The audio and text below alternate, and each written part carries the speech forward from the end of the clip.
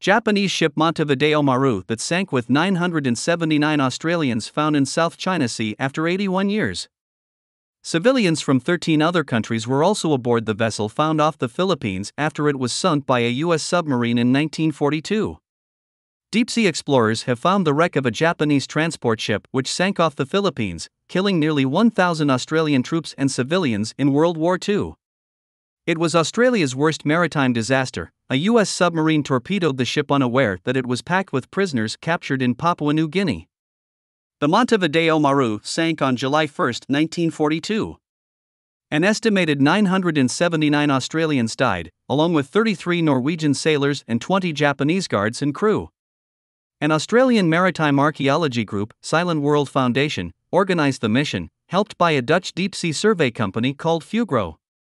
The wreck was located by an autonomous underwater vehicle, AUV, at a depth of more than 4,000 meters, 13,123 feet deeper than the Titanic wreck. Captain Roger Turner, a technical specialist in the search team, told the BBC that it's a war grave now, it's a tomb that must be treated with appropriate respect. The closest the AUV got to the wreck was 45 meters, he said. It was a moment of emotion to see the images of the ship, the closed hatch covers where prisoners were kept on the voyage.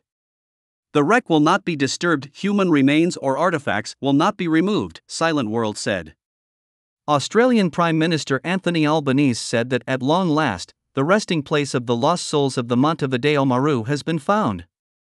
We hope today's news brings a measure of comfort to loved ones who have kept a long vigil. The ship was sunk by torpedoes from the USS Sturgeon and went down rapidly. Speaking by phone from the search vessel, Captain Turner said that after being hit, the Montevideo Maru had assumed a steep angle within 6 minutes and disappeared below the waves in 11 minutes. Just three lifeboats were launched and 102 Japanese crew and guards rowed to the Philippines. Silent World director John Mullen said families had waited years for news of their missing loved ones. Today, by finding the vessel, we hope to bring closure to the many families devastated by this terrible disaster.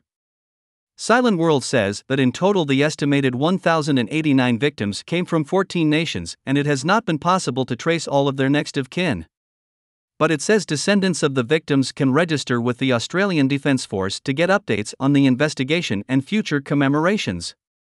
The search began on April 6 in the South China Sea, 110 kilometers 68 miles northwest of Luzon in the Philippines, and the wreck was located after 12 days. It then took several days to verify the wreck using expert analysis from maritime archaeologists, conservators, and other specialists, including ex naval officers. Scans of the wreck, including the hold, foremast, and bow, matched features marked in drawings of the ship. Captain Turner told the BBC that the team were euphoric. Many years were invested in this, and more than that, the descendants of the victims number in the thousands. Two who were on board spent much of their lives researching the events, tracking down as many victims as they were able. Captain Turner said residents of Rabaul in Papua New Guinea, a strategic hub captured by the Japanese in 1942, still felt their connection to the Montevideo Maru disaster very strongly today. They conveyed how important this was to the descendants, he said. The team's elation at finally locating the ship was tempered by sadness at the scale of the disaster. We're looking at the gravesite of over 1,000 people, John Mullen told Australia's ABC News.